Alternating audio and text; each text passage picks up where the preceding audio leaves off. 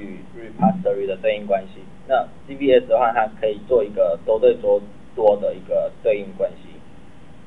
那 SVN 的话，则是呃一个 repository 它有提供多个不同的工作目录，但是一个工作目录则是对应一个 repository。那虽然可以，那 local 端可以虽然可以。那更改那 repository 的位置，可是它的要求还算蛮严格的。那这是一个 SVN 的跟 CVS 的比较。好，后面还有。那对于对 repository 存放方式的话，CVS 它是完全使用，完全以那个使用者可见的方式来来做一个存放。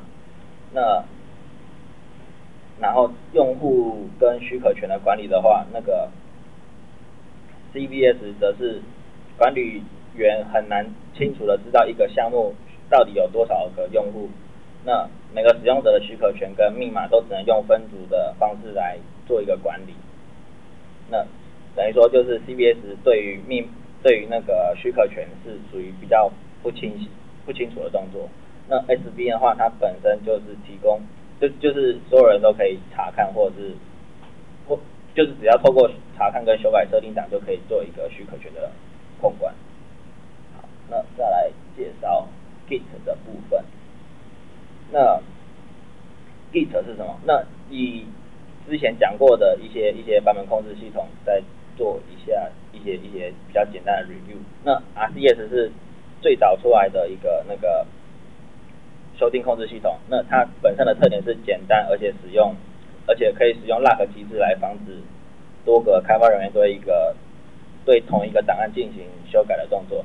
那 CVS 的话，则是建立在 RCS 基础上，那目前是比较流行的一个版本控制系统。那主要是使用那个单一的 repository，然后不像 RCS 会依赖多个不同的目录。那它最大的优点就是可以让多个开发人员对同一个档进行进行修改的动作。那 SVN 则是因为因为 CVS 只能对档案做一个版本控制，不能对目录做一个版本控制的一个动作。那所以 SVN 它就提供了一个可以对目录做一个版本控制的一个改良。然后因为嗯好，然后原子性提交就是刚才说的那一次性提交的动作。那 Git 它本身是由那个 Linux，它为了为了当初是为了更好管理 Linux 所开发的一个版本控制软体。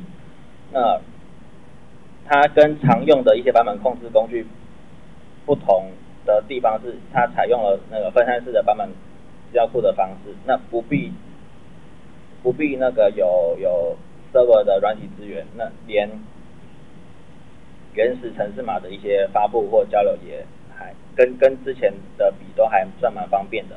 那再就是它速度问题，它本身的速度算蛮快的。那像呃哦好，那它比较出色是它它的一个合并跟合并的一个能力。那它本身会比较适用在一个分散式的开发专案里面。那那这是它的一些历史。那它一开始是为了作为一个可以被其他前端包装的一个后端所开发的一个东西。可是可是后来为了，可是后来那个随着随着开发，随随着不断开发，它现在已经成熟到可以独立做一个版本控制的一个管理。那好，那这是一个它。比较基本的一个指定的格式，然后如果你是在 Windows 下用 Git 的话，它有提供一个 GUI 界面，可以让你比较方便操作，就不需要做做对这个指令对有太多的记忆。不过我们还是稍微看一下，那它现在啊这之前的资料，现在大概有一百三十七个指令，不过目前还在持续增加中。那比较常用的就是。这些，那好，那这里是别人依各个功能的的拿拿把这把 Git 指令做一些一些分类的动作，那像是有有 local 端的操作指令，或者是对远端 repository 的操作版本分支还有合并的一些指令。那然后再是呃 remotely 是操作及维护版本的一些指令，然后最后是对版本做比对的指令，然后就是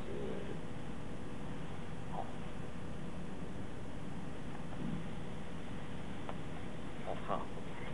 那稍微介绍一下那个 Git branch 的一些一些，呃，现在稍稍微介绍一下那 Git 的一些一些指令的的一些动作。那 branch 的话，它一开始开，那这些呃，好第二指令的话，它都可以在那个本地端做做一个呃指令输入的动作，然后最后再那。像 branch 它使用 branch 的时机，就是为了为了产品 release 需求，或者是一些带有实验性质的变更。比如说你想写新的一些演算法，或者是重构程式码的话，你通常就会从从那个原本的组织线开一个 branch 出来，然后对做修改，最后再丢回那个组织线里面做 merge 的动作。那或者是为了那个你想对组组织呃主要的生产流程。